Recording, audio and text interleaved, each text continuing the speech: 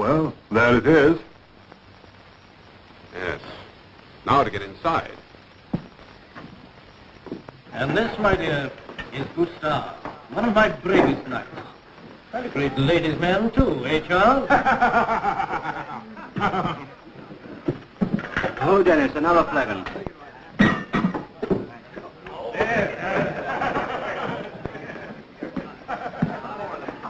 Come with me.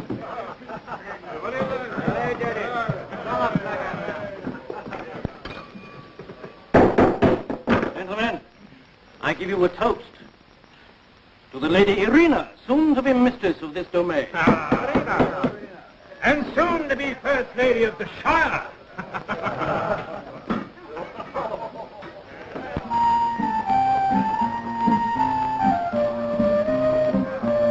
You didn't tell me, my lord, that you occupied such an exalted position in Nottinghamshire. I must admit it, my dear Irina. With each passing day, I come nearer to being the most influential man in the country. and each passing night as well. Night? We try to improve ourselves day up and night. I do love hunting. When shall we go? Very soon, my dear. Tomorrow, then. You'll have to be just a little bit patient. But you promised me the best hunting preserve in Nottinghamshire. A promise which I shall keep. Believe me, Lady Irina, this preserve is the best hunting in England. Red deer swarm through the forest like flies. Then I don't understand why... The title to the preserve has not quite uh, passed into my hands as yet. You mean it is being bequeathed to you? In a manner of speaking, my dear, just so. There must be better minstrels than these in Nottinghamshire. Particularly for our betrothed. Come here.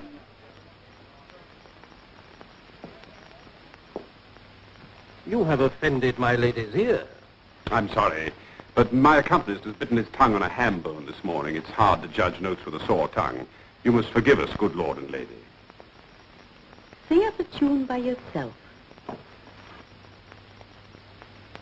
One more false note. One further offense to my lady's ear. And I'll bleed you. There once was an outlaw who lived in the wood, so wicked and bold and despised by the good.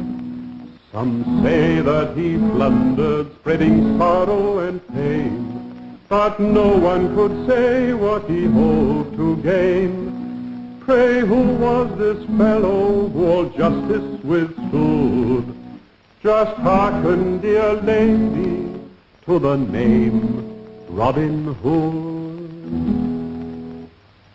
An interesting choice of ballad, minstrel. But I'm not sure that it pleases me. I, on the contrary, found his song amusing. He has not a bad voice for a peasant. You do me great honor, my lady. I'm sorry if my little tune displeased you, my lord. Usually songs about Robin Hood are very well received, especially now that his name is on everyone's lips. And why, pray, have the deeds of a common outlaw suddenly become so interesting? Because, my lady, they say it is he who has put the torch to two nearby manor houses. What do you mean, they say? You speak as if there were room for doubt about this Robin Hood's guilt. It's not my place either to doubt or believe, my lord. I'm simply a minstrel. I do no more than repeat what I hear. He speaks well. Yes. Too well, I should say, to be simply a minstrel. I have a feeling I've seen him somewhere before. Not like him, lord. We're new to the shire. Yes, you're mistaken. You haven't seen us before. You've just taken too much of that wine. Well, I'll teach you to be insolent to me. Oh, good sir, what? He's just a clumsy oaf. There's, there's, there's no point in trying to hurt him. Hurt him? I'll kill him. Oh, now, sir, you're, you're far too gracious a nobleman. Out of my way, I'll run you both through with one lunge, like meat on a skewer. He has a lot of courage for a minstrel. I'll show you how much courage he has. Oh, I'll Hold on, kill him. Charles.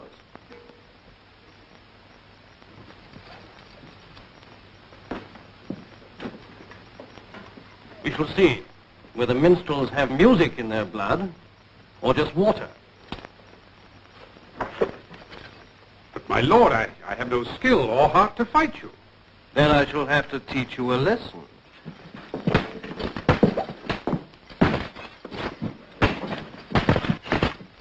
For a minstrel, you fight well.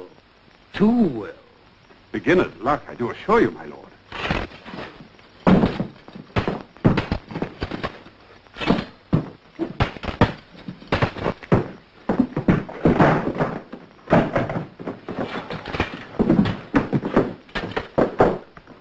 Now I have it, Henry.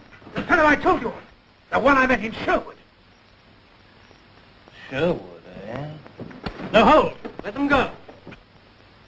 Give them a few seconds to escape and then follow.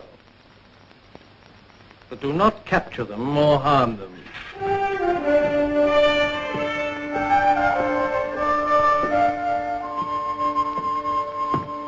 Why did you let them get away?